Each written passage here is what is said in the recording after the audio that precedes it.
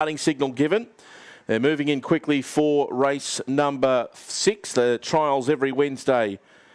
Grade five, green light, set to go. Ready, and racing. Beginning well on the inside was Grumpy Al, favourite out to lead early.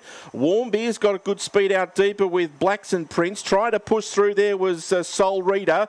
Well back then to Don't Know Jacob on the inside Western Bomber, but Grumpy Al leads the way and gets a clear. Four lengths in front. Grumpy Al's home. Second in was Blacks and Prince ahead of Don't Know Jake, and I think Warm Beer will run fourth just ahead of a flying Western Bomber, and then came Soul Reader, well back zipping Petra and Jayla Strike was at the back. The time is 19 and 84.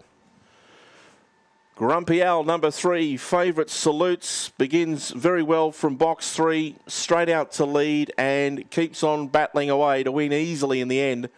Eight is second, Blacks and Prince. Don't know Jake will run third, and Warm Beer will be fourth. It's three, eight, five, and six. Three, eight, five, and six in a time of 19 and 80. The run home was 13 and 13.